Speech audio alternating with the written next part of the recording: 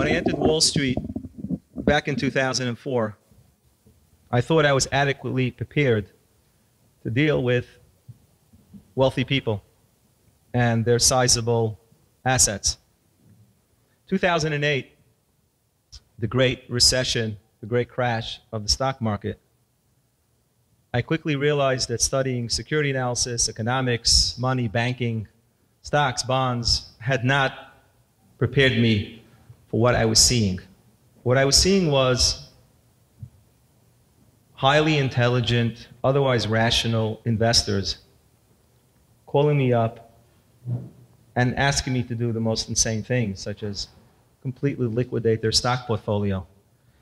And the reasons and the rationales for doing so were puzzling. These were CFOs of public companies. These are people who put together plans, well thought out plans, as far as growing their wealth into the future. And I realized I was seeing something that I was not exposed to in all my years of studying finance. And then when I looked further, I realized that my clients were not the only ones. Pretty much across the board, you will find these idiosyncrasies of investors, these biases, these irrationalities play themselves out during times of stress and turmoil. So I realized that I have to go back to school and I have to relearn what it means to be a wealth advisor. And I came across a field of study called behavioral finance, which is absolutely fascinating. And the moment I was exposed to it, I was literally hooked. It started with a book by Dan Ariely called Predictably Irrational. I then went on to read books by people like Daniel Kahneman, Mark Belsky, and many, many others. And what I realize is that when we watch the market, when we watch investors, when we watch ourselves making decisions that have to do with finance, and as we're going to see tonight, far beyond finance, we actually think that we're making rational decisions. But in many instances, we're not. Either we're making emotional decisions, or we're making what we think is a rational decision based on very faulty data. So each of you filled out a questionnaire before you walked in here. There were two teams, green and yellow. You pretty much got the same questions. Some of them are identical, some of them had small nuanced differences, which we're going to show you now. And this was there to see whether or not you fit the profile of a typical human being. And if you do, you will probably fit the profile of a typical investor or even decision maker. I just put out eight questions over here, but the truth of the matter is I could have put out 60, 70, 80 questions. But some of these I think will be relevant to our discussion tonight. So my questions are, why is it that some people sell their stocks right before the prices skyrocket? Why do some people hold on to stocks for way too long as they watch the share prices plummet? Why have I met hundreds of people who keep balances on HELOCs, other high interest bearing loans such as credit cards and so on, racking up thousands of dollars of finance charges while keeping a savings account or a rainy day fund, as many counselors tell you to keep, earning close to nothing. Why do most investors, and this is statistically tracked, sit out big market rallies and why do the typical investors jump in sort of at the top only to ride the market down again? Why do we spend so much on credit cards?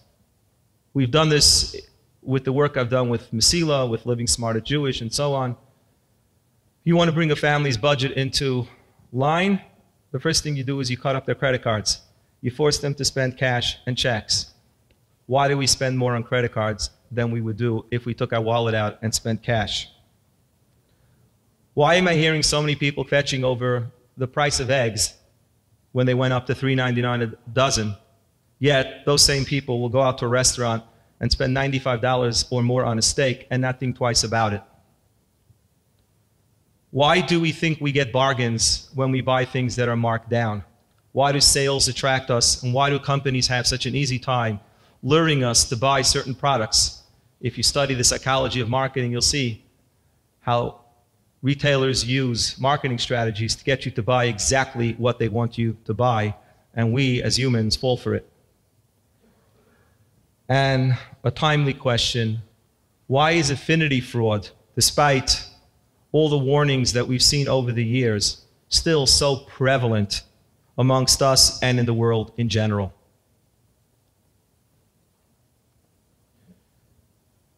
As I write many times in my book, success comes down to how you think or whether you think. You guys filled out a questionnaire, and all of you believed that you were thinking. As I'm going to share the results, you're going to realize you may have an aha moment that you actually weren't thinking at all. You may have been using your gut you may have, been gotten, you may have gotten a hunch, but even in some of the instances where applied thought would have given you the answer, many of you didn't get the answer. And that's not because you live in Lakewood, because you don't have a Harvard degree. If I gave this questionnaire to thousands of people who went to Harvard, I would get very similar results, perhaps somewhat different, because they've been trained perhaps to pick up some of the traps that I put into these questionnaires. So let's start with a word which I learned from Danny Kahneman, a Nobel Prize laureate, who really pioneered this idea of behavioral finance. And the word is a heuristic.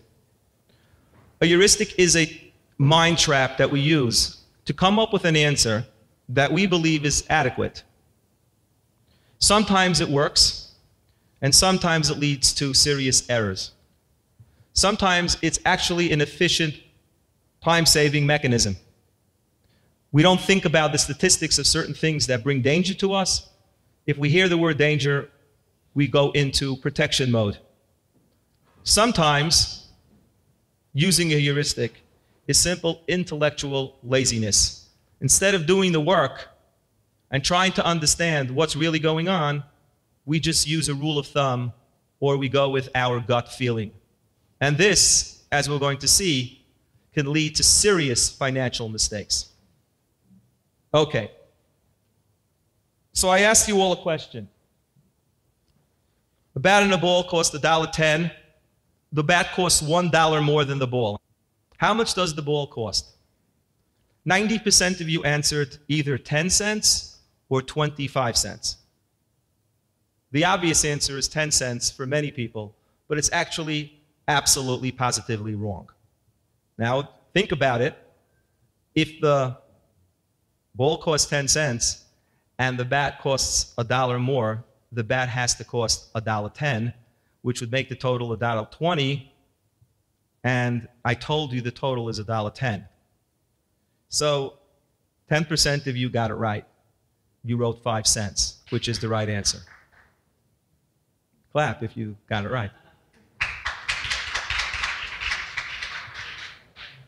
The second question was not as tricky. It didn't require math. The question was all roses are flowers. Some flowers fade quickly, therefore, some roses fade quickly. And the answer is absolutely false. It may very well be that carnations fade quickly, but roses don't. Just because a rose is a flower does not mean that it falls into the category of things that fade quickly. Here, only 60% of you answered true, and 40% of you got it right. So, what we've learned is that you can take perfectly capable adults and give them simple arithmetic questions or simple logic questions, and more than 50% will get it wrong. And that should teach you something about yourself if you answered both of these wrong. By the way, the 40% that got the second one right were almost always the ones who got the first one right. So that some of them, right, some of those guys who got it wrong on the first one got it right on the second one, but almost everybody who got it right on the first one also got it right on the second one. So if you got it right on both of them, it tells you that you may not be as intellectually lazy as the average person, which is good. Okay? Now, I'm going to share with you some heuristics, some biases that are prevalent amongst decision makers slash investors. There are many. In 2008, when I studied this, I created a curriculum for NYU, the School of Continuing Education. And I believe at the time I taught 18 different biases and heuristics that investors are subject to. I picked a handful tonight, the ones that I think are the most damaging, but there are plenty more that are equally or slightly less damaging. The first one is what Danny Kahneman calls WYSIATI. I think I'm pronouncing it right. What it stands for is what you see is all there is. This is a very famous graphic which you can find on the internet. And it's basically three people walking in a tunnel. And if you're human and normal, the one all the way to the right is larger than the one all the way to the left. Can everybody see that? Anybody disagree? A handful of you disagree, about four or five. The answer is they're exactly the same. And just where the lines are drawn and the way this graphic is shown, your eyes are playing tricks on you. And you think that the one to the right is larger. But mark my words, the first time I did this, I didn't believe my eyes. I didn't believe that it was actually the true, so I cut it out like a two year old and I placed one on top of the other to prove it. So they are exactly the same. Your eyes will play tricks on you. We've learned that your mind will play tricks on you. One of those tricks is you believe that what you see is all there is. So I asked you to meet my friend Steve. And I told you a little bit about him. I told you that he was neat and tidy. I told you that he paid close attention to detail. And I described him to you. And in doing so, I biased you.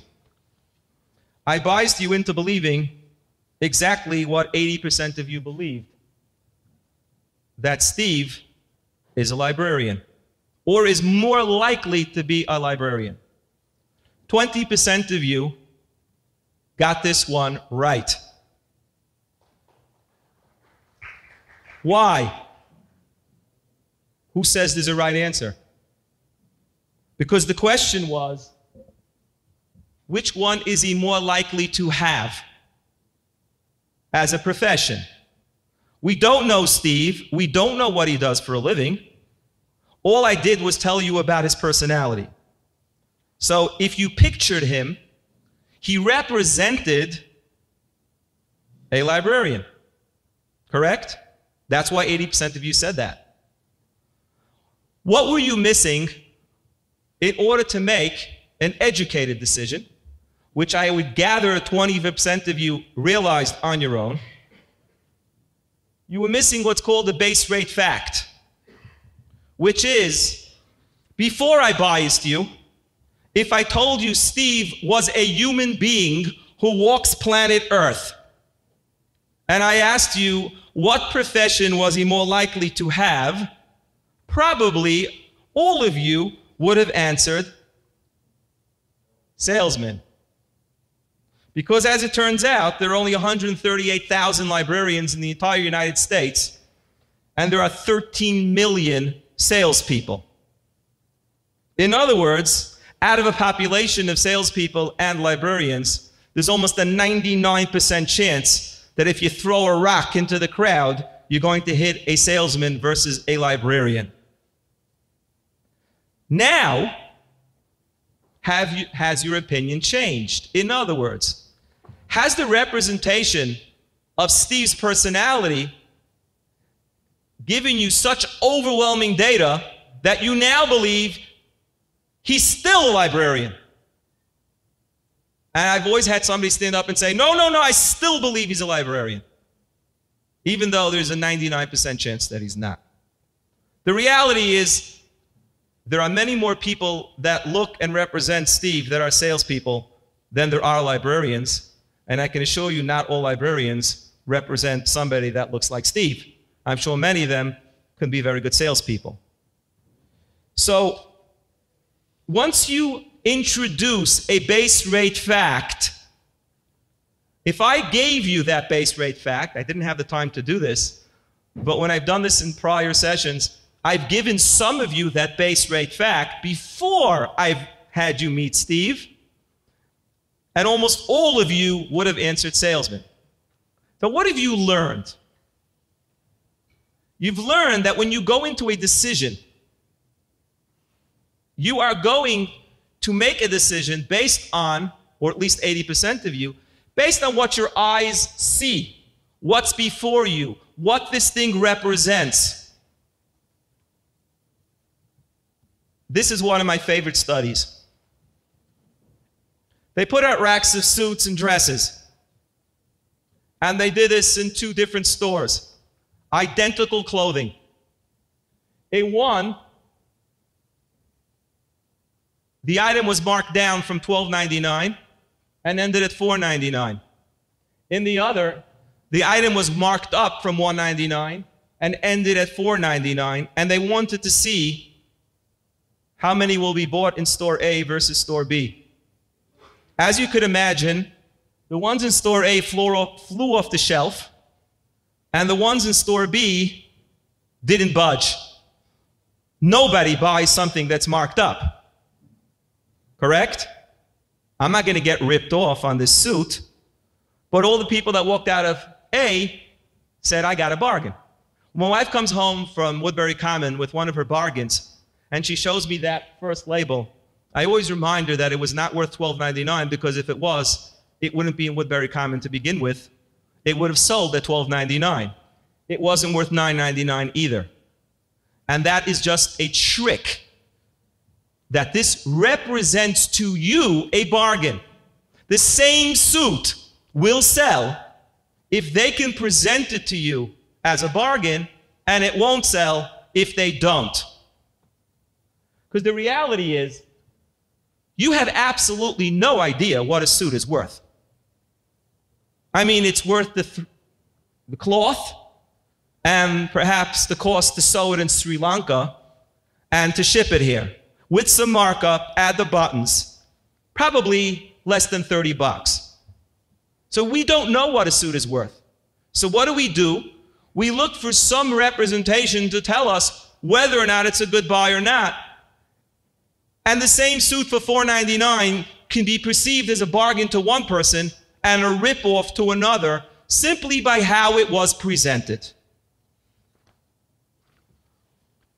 Who cares about any of this? Well, let me give you some examples. Investors make decisions on a buy or a sell based on what? Based on fact, based on knowledge, or based on 52 week highs, what the first or second column that you read, whether it's Barron's or Forbes, what are you looking for? You're looking for something to tell you whether you should or shouldn't buy or sell. IPOs are a perfect example. People line up to purchase them. There's something exclusive that only wealthy people can buy. And everybody believes that they represent a great investment because only certain people can get them. Well, if you look at the data on IPOs and how they actually do, if you actually go beneath the surface and study the base rate facts, you will find it isn't true at all. Most people believe that the market does better under Republican leadership when the data is overwhelmingly the other way. And you speak to people and they say, of course, wealthy people vote for Republicans because they're good for the stock market. Really? Google it. But this is what we believe because that's what this idea represents in our mind. People buy things that they deem safe. Safe based on what? They look safe. They seem safe. Do they really know? Do they have any real facts? Why is affinity fraud prevalent? It's called representation bias. The guy seems like an honest person. I know his uncle. I know his neighbors. I spoke to some people about him. Do we really know? Do we truly do our homework? Do we understand the strategy? Do we understand whether or not it's possible for him to be doing what he's doing? There were many clients of mine over the years who brought me different strategies from people that had great, repu- great reputations. We've had many Ponzi schemes which were uncovered by people who looked deeper to try to uncover true facts. The base rate fact is, and I looked at something today which made my stomach turn. It was represented literally as risk free with 12% returns. The base rate fact is, is that the 10 year treasury is what we would call the risk free rate. That's the benchmark, if you will. If the 10 year treasury is at 3.8 and somebody's bringing you something that's 12, and the word low risk, risk free is associated with it, well, if you don't know the base rate fact of what actually risk free rate looks like, you can believe that there's something out there that's low risk at 12%. Maybe there is. Maybe Steve is a librarian. But 99% of the time, it's not. 99% of the time, when what you see before you deviates that greatly from the base rate fact, it's probably not going to work out as advertised. I know this has nothing to do with finance, but what you see is all there is, or a representation bias, is the root of so much bias, racism, stereotyping, because instead of doing the work and trying to understand the person standing before us, we will lump them into a category through mental laziness and bias and say, people that look like that, dress like that, have that skin color, really doesn't matter, are blank. Do we know? Of course not. Stop and think how many decisions you make based on what the information readily available represents to you versus digging deeper and getting real information and fact. We'll be right back to this week's episode of Kosher Money, but first, a message from our friends at Twillory. I'm wearing their amazing polo shirt. I have them in all different colors. If you are in the market for new shirts, new pants, a suit, a sports jacket, socks, if I had to describe them in one word, it would be comfortable and professional but like hyphenate those words because I'm only allowed one word. It's super comfortable and they look professional. Last week I showed you their jacket, which has that stretch material, and the polo shirts have them as well. Super, super comfortable. I'm actually losing weight, so maybe I'll downgrade a size. But if you are in the market for polo shirts, they have these white shirts as well. A button down, which I really like. You can get a short sleeve button down shirt, button down all the way, or you can get as a polo the material there is something like I've never felt before. But don't take my word for it. Take your own word for it. Use promo code CHAI, C-H-A-I, on twillory.com slash kosher money. It will give you $18 off your first purchase. We're going to put a link in the show notes. Highly recommend it. If you're not in the market for new shirts, don't buy them. But when you are in the market for new shirts, buy Twillory. And now back to this week's episode. The second one is the idea that not all money is created equal. So I asked yellow and green two sets of questions. The questions are logically similar, but factually different. I asked you to imagine that you bought a $150 ticket to a play, and as you were leaving the house, you realized that you lost your ticket. Will you go and spend another $150 to buy that ticket? I asked Green, Similar question.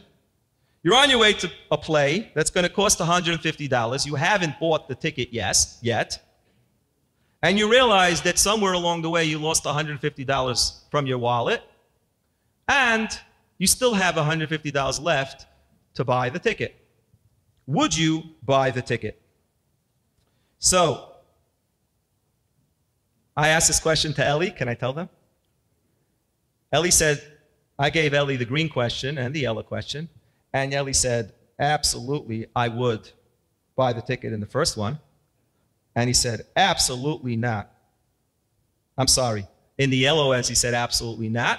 And the green one, he said, Absolutely yes. 90% of you who got the green said yes, you would spend the $150 from your wallet. And only 40% of you on the yellow team said you would spend the $150 to buy a second ticket. And the reason is, is that the thought to the yellow team to purchase a second ticket or for this play to cost you $300 was something you abhorred, or at least 60% of you did. Whereas 90% of you who got question green said, What does the $150 falling out of my pocket has anything to do, have anything to do with seeing the play? You did not associate them one with the other. And therefore, you probably were wondering, why am I even asking the question? 10% of you said no, because you were probably mindful of the fact that you just lost $150 and you're going to save that ticket so you'll be net even. But 90%, 90% of you said, why not? Now, if all money is created equal, at the end of the night, you are $300 poorer if you see that play. Whether or not it was two tickets to the play or it was $150 from your wallet and $150 for a ticket, you are in exactly the same place. Do you understand that? That's clear, right? Buying a ticket twice, losing $150 on the way to the show, and buying a ticket for $150, still, when you open your wallet at the end of the night, puts you in the exact same place. Now, this study has been done thousands and thousands of times, and the vast majority of people answered the way you answered. I then asked another biasing question. Question was you go to a store to buy a lamp, or you go to a store to buy a dining room set. In the first instance for yellow, it was a $100 lamp, and it was on sale for $75 a few blocks away. And in the green case, it was a $1,775 lamp and you can get it for 1750 five blocks away. Those of you who got question yellow, 70% said they would travel the five blocks to save the $25. Lakewood, I'm proud to say, green did very well. 50% of you said you would still travel five blocks Most oftentimes, it's less than 25%. Now, you can see where I'm going with this, right? Well, some will argue, well, in the yellow case, it's a 25% savings. And in the green case, it's a fraction. Why would I travel five blocks to save one or 2%, right? Or 3%? It's not worth it right? In the other case, you say, well, 25% is worth it, right? Now, if we would take off our mental accounting hat, all that really matters is how much is your time worth and what does gas cost to drive five blocks? Those are the only inputs that really matter. $25 is $25, whether or not it's coming off of a $100 item or a $1,775 item. So why did 70% of you say yes when it was $100 and only 50% of you said yes when it was 1775 dollars It's because of what we call the mental accounting bias. I was in a car dealership recently, and I was watching this, and it was something to see. It was a Honda dealership, and there was a CRV on the, on the floor. And the people that were looking at it were looking at the features. And they said, Is there anything more that we can get in this car if we took a higher trim level? And the guy said, Yes, but the higher trim level is going to be probably three to four weeks, and it's going to be $3,000 more. And they went through the different options that were available at that higher trim level. And I watched the husband and the wife saying, We don't need that, we don't need that. And then it came to the thing they thought they needed, which is an automatically closing lift gate in the back, a button. A button. And they said, Oh, we absolutely must have that. So I was watching all this, and the salesman gave them a few minutes to think it over, and I just meandered over. And I said, I'm just curious. You realize you're going to be paying $3,000 for a button. That's an expensive button. And of course, the answer was if I'm spending $35,000 on a car, what's another $3,000? Does that sound logical? It's $3,000.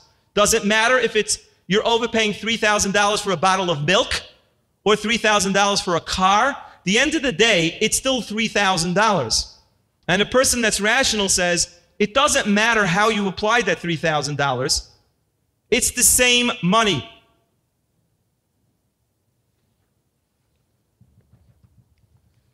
Mental accounting is fascinating. It really is. Going back to my 2008 story, where I became really fascinated with was I had clients calling me up hysterical that they want to liquidate their portfolios. The market's crashing, it's going to zero, it's terrible, get me out. And I asked a simple question Would you like me to sell your IRA stocks? So you have a personal account, you have an IRA. Should I sell it all? Oh, no, no, no, no, no. Leave the IRA alone. The IRA is fine. Why is the IRA different than your personal account? That's long term. But do you realize that the stocks in your personal account are also long term? And the answer is I don't see it that way.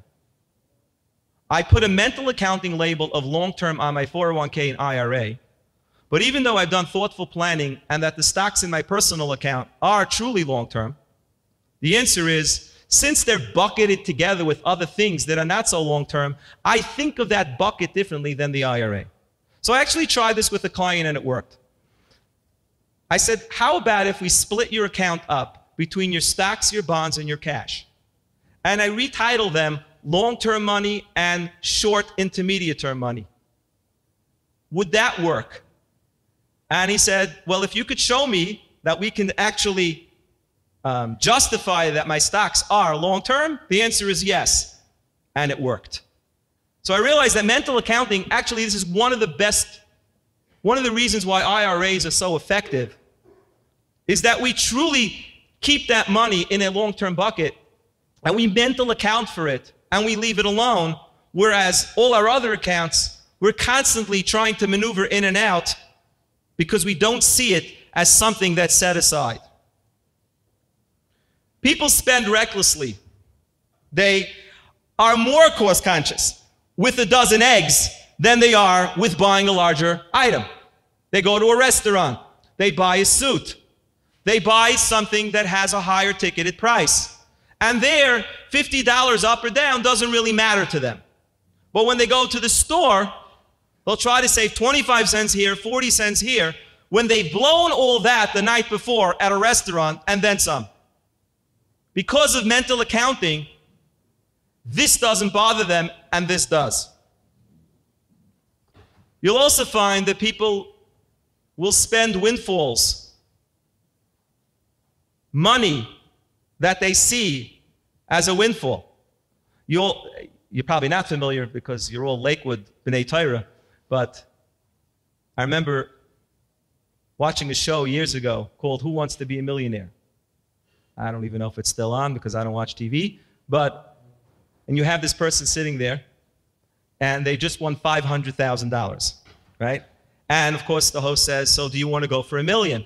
And the whole crowd is screaming, Yeah, yeah, go, go, go. And the person goes for the million. And sometimes they win, most oftentimes they don't. And then, oh, we're sorry. I always wondered imagine if at that moment they stopped the show. Oh, I'm sorry, Susan. We've run out of time. We're going to have you come back tomorrow. And then you can decide whether or not you want to go for a million dollars. And in the meantime, Susan, what we're going to do is we're going to wire the $500,000 into your checking account. And tomorrow, when we ask you the question, you're going to either say yes, and if you do, you're going to write out a $500,000 check, and if no, you get to go home. I want you to imagine Susan coming back the next day, sitting there on the seat and saying, Okay, Susan, do you want to go for it? And everyone's screaming, Yeah, yeah, yeah. And she's like, Are you out of your mind? You're asking me basically to roll the dice and lose $500,000 that's already in my checking account? The answer is there's no way she would do it if she's sane. Because at that moment, it's no longer windfall. At that moment, it's her money. Had that not happened, she was playing with funny money. It's not real money. This is what we call the lottery effect. I made money on a stock. I made money on an investment. People tell this to me all the time. I think it's time to sell. Only sell my cost. Leave the winnings in or leave the profits in. I'm willing to play with that. Really? Is it different money than the other money? Or a 24 year old who comes into my office and says, I've just inherited this money from my great grandmother. I'd like you to put it into a savings account or a CD for me. I say, but you're 24 years old. I know, but it's grandmother's money. Grandmother's no longer here, but that has been mental accounted as grandmother's money. I've met people, I meet them every day, that have $600,000 balances on a HELOC. Today, we all know the rates between 6 and 7 or 8%. And at the same time, they have savings accounts, rainy day funds. And I say to them, why don't you take the savings and pay off the HELOC? Oh no, I need to have savings. But you can write a check from the HELOC if you run short. No, no, I can't sleep at night if there isn't money in my savings account. But you can write a check and it'll go right back in a second later. And do you realize the spread between what you're paying on the HELOC and what you're earning in the bank after tax? And they don't listen. And this makes absolutely no sense. But in their mind, they have savings and they have loans, but they don't see it as one decision. It's also why we spend more on credit cards. It's simple. There's no pain in it. We don't actually account for what we're doing, for what we're truly doing, which is depleting our bank account. We don't actually mentally account for that. We look at it as a swipe. It becomes essentially unpainful. Whereas parting with cash is seen, it's accounted for mentally as a spend. And a spend causes us to think twice because it comes with some emotional pain. A quick break from this week's episode.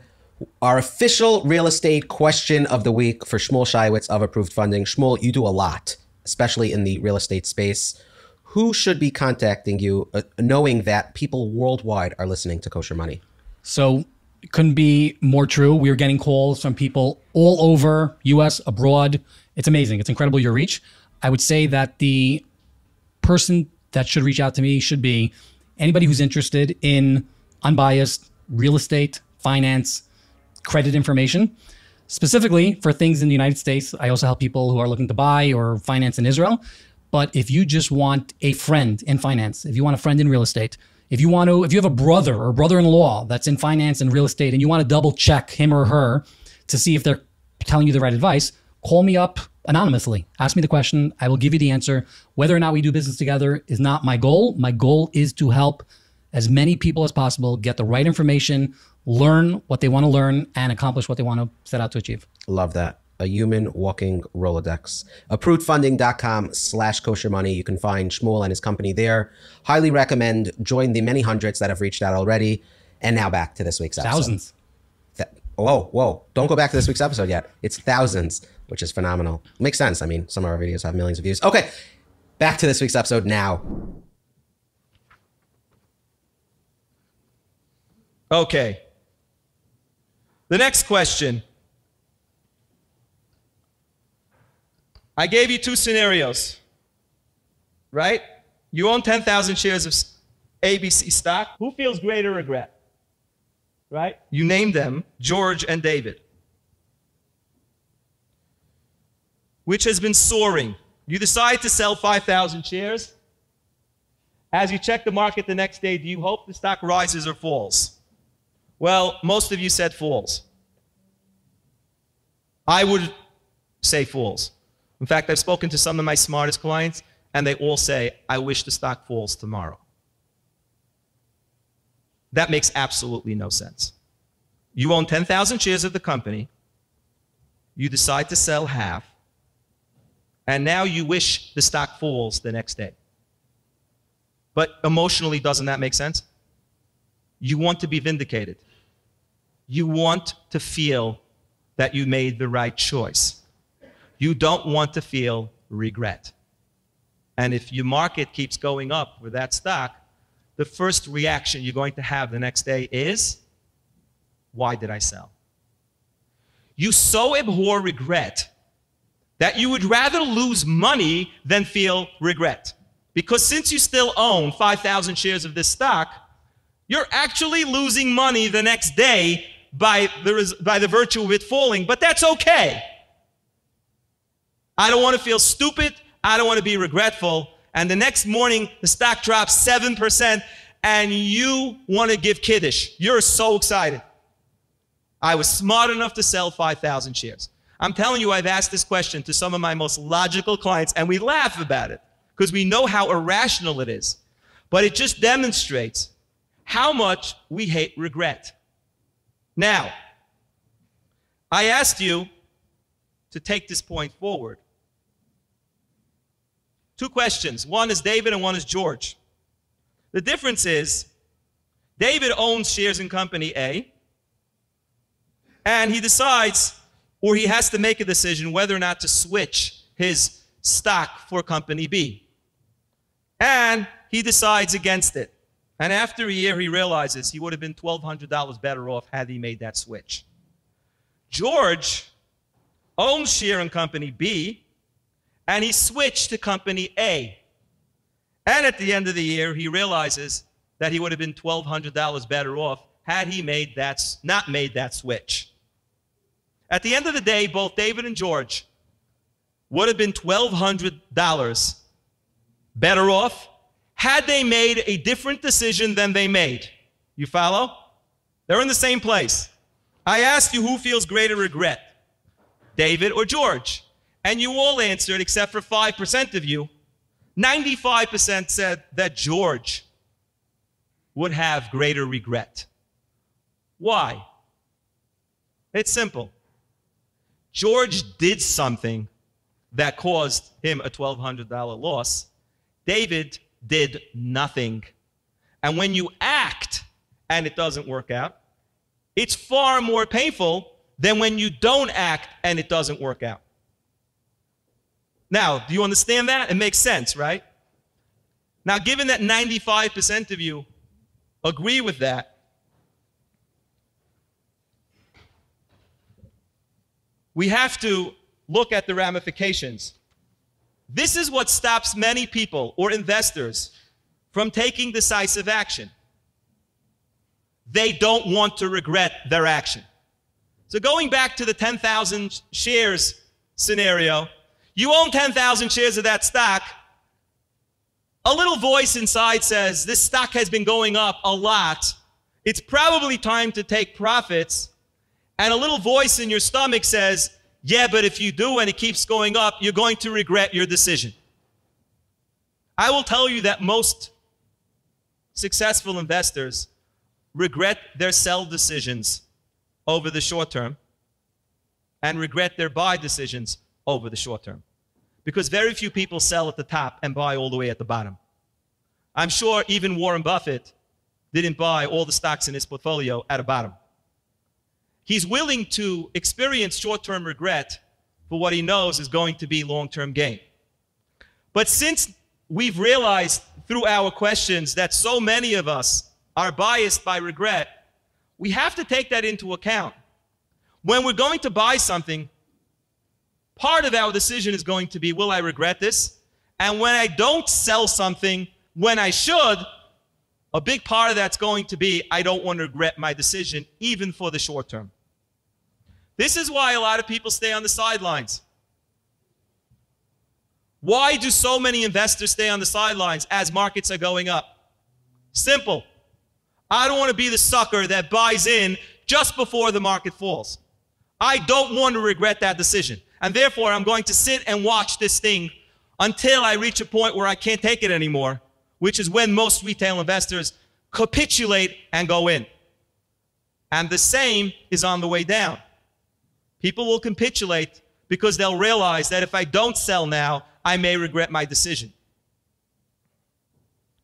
After people make mistakes and they regret their decisions, they cower in the corner and lick their wounds.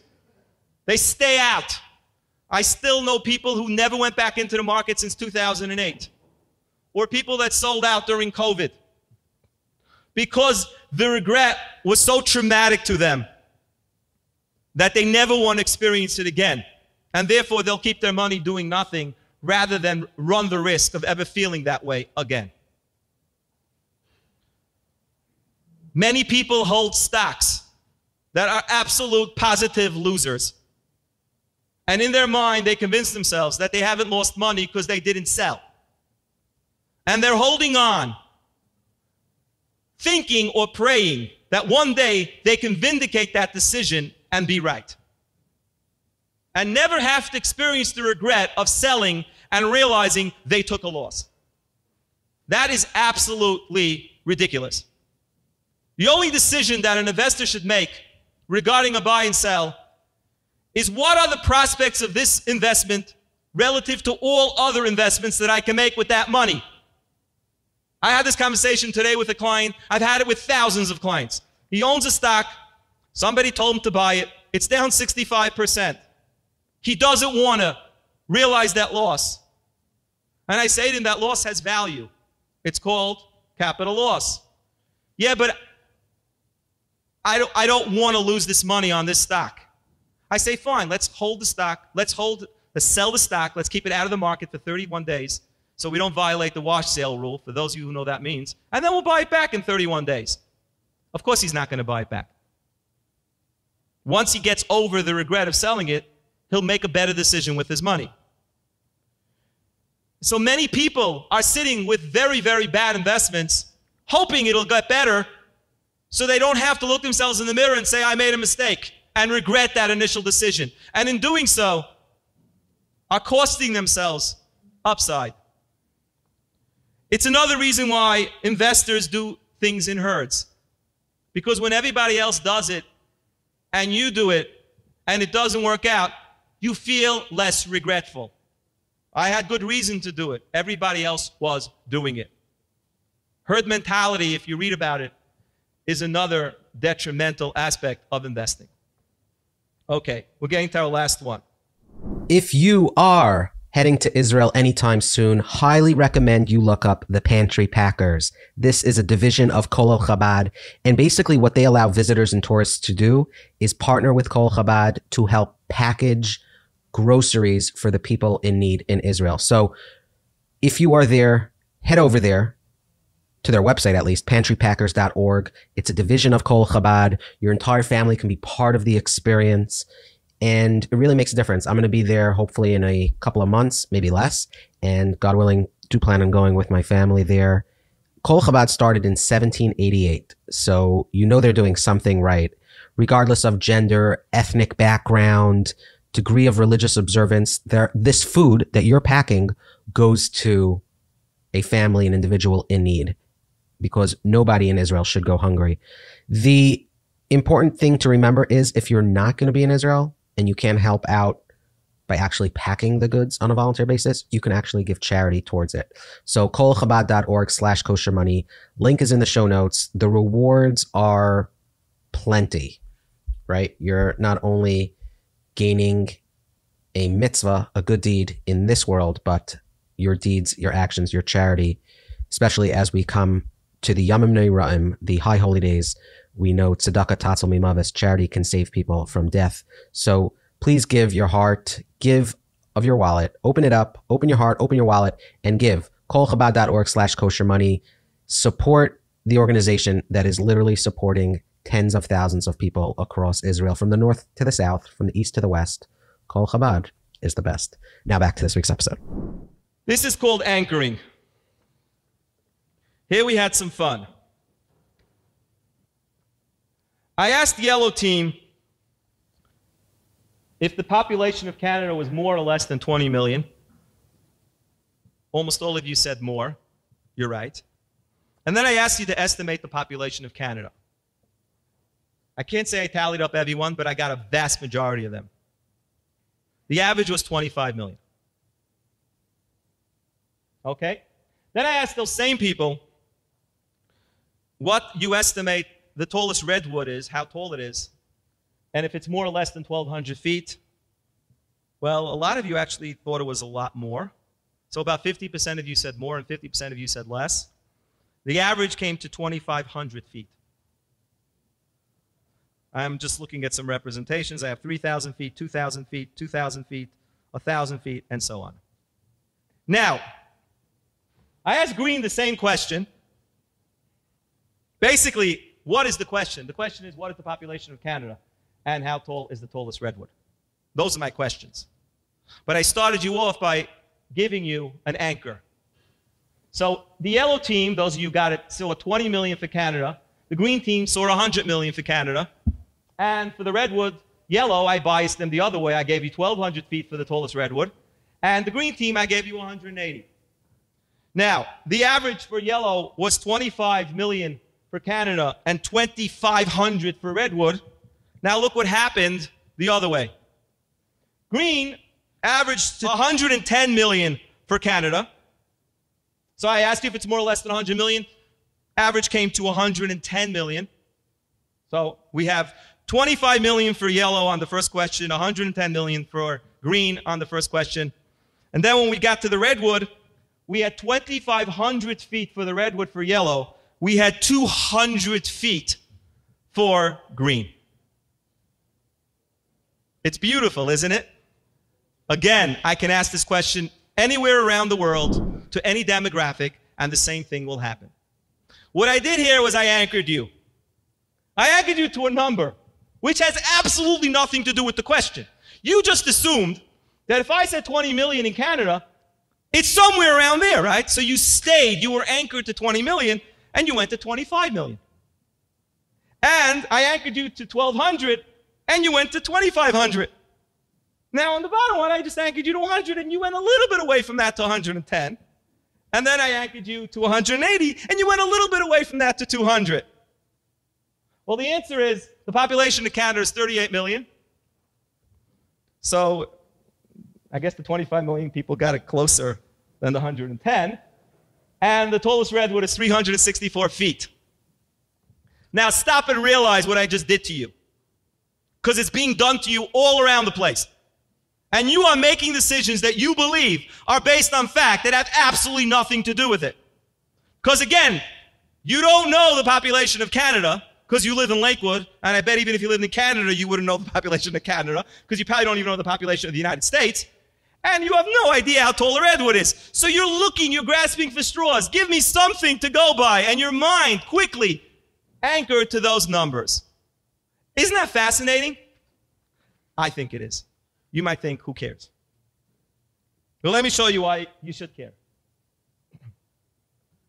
I've been on Wall Street a long time. Analyst revisions is a daily occurrence.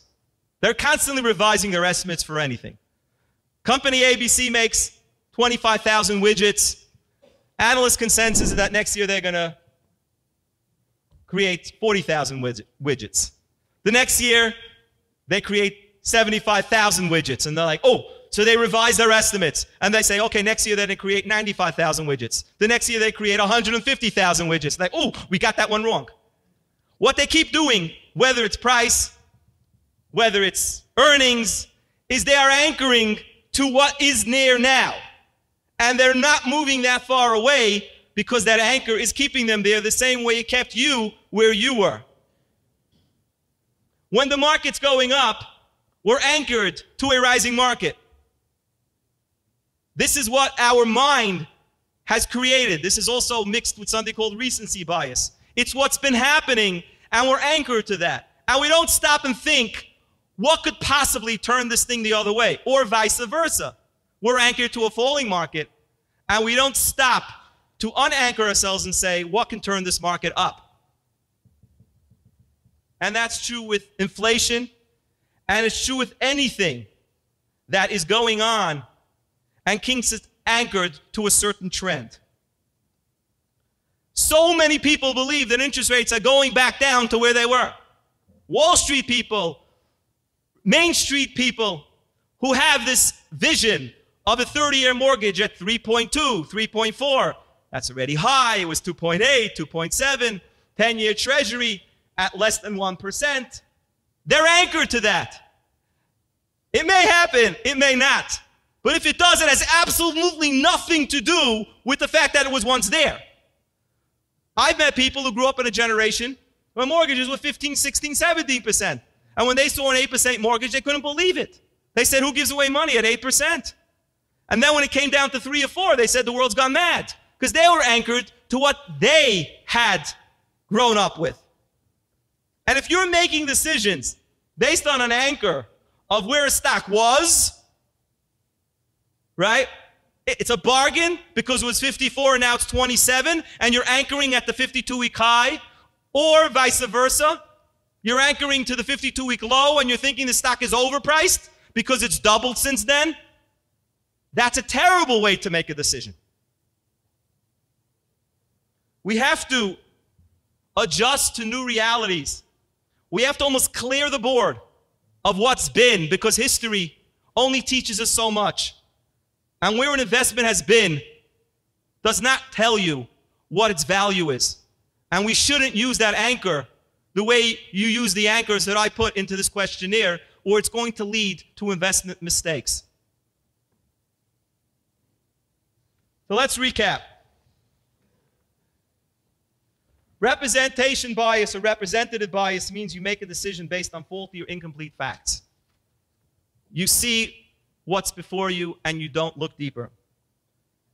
Mental accounting means you treat different buckets of money differently.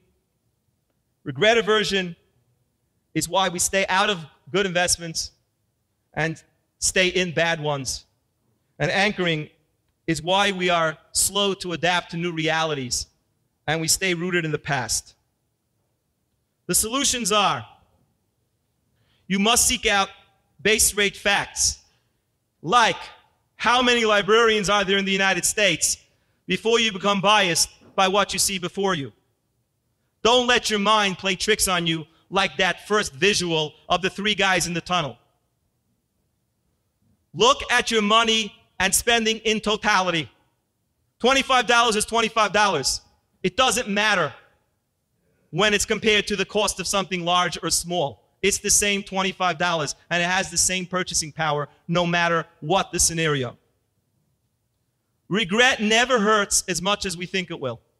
And as I told the client, there's never been a death certificate issued where cause of death was regret. We will get over it. Try to use mind over body, mind over emotion. If something is in a good investment, sell it. You'll forget about it in three or four days. Sell a bad investment when you logically know that it's a bad investment, or speak it over with somebody who can help you make that decision. Try to make financial decisions based on fact and not feeling. Yesterday is gone. The 52 week low or the 52 week high don't matter. What matters is what is the prospects of this investment right now? And is it a good investment? What is inflation now? What is it based on? What are interest rates based on? What is the market valuation today? Don't anchor yourself to something that has absolutely no relevance. I hope this was helpful. Thank you all for hearing me out. Thank you so much for listening to this episode of Kosher Money. We are rolling. We got episode after episode after episode. We can't thank you enough. My brother does something cool. He has a word of the week where when he airs an episode, he tells the viewers to put a single word in the comment section. Obviously, if you want to comment, comment away. But I want you to comment the word impactful. If you see this, I want to try to outdo him.